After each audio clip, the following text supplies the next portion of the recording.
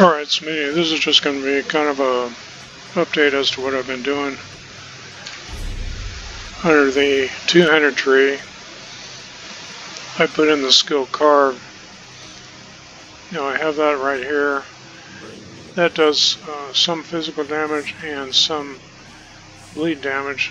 What I like to do is pair it up with this, hit the enemy with this, give them that bleed damage, and uh, go over here and give it that bleed damage as well.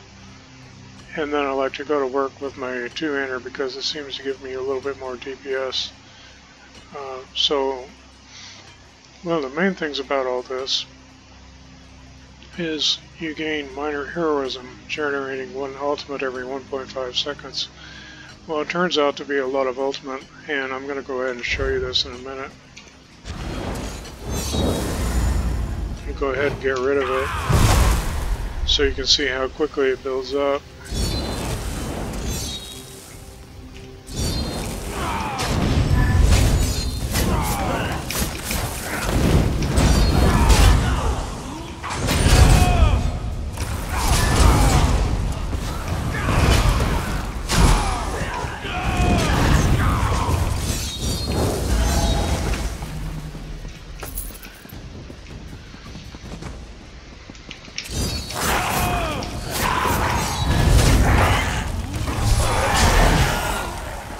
Okay, as you can see, we're uh, right up to 149, 152.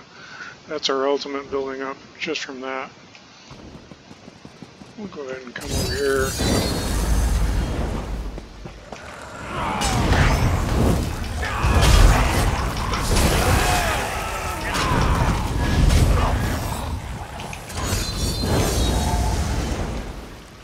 Just from that little battle there, uh, we're going up to uh, 229.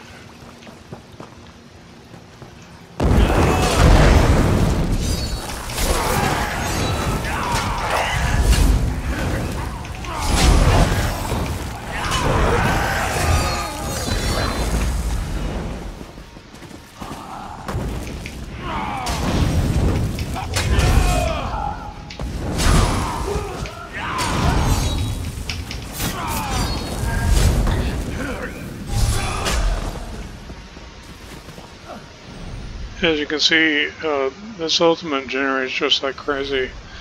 And of course on a Dragonknight that's re really pretty important.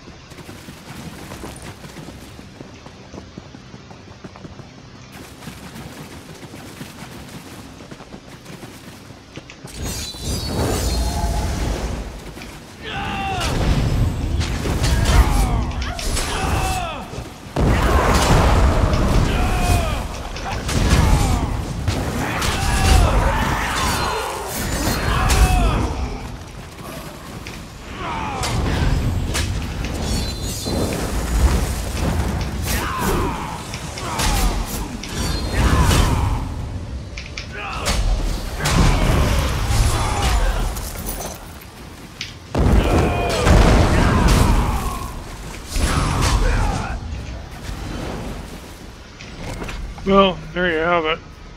As you can see, my minor heroism is uh, still going. And uh, it gives you a lot of ultimate back, and it's really useful against players as well, because you can hit them with uh, both of these damages over time. This and this, and then just go to work on, on the rest of your two-hander skills. I've had a lot of fun with this today, uh, but anyway, I just thought I'd go ahead and show you that. I'll talk to you later. Take care.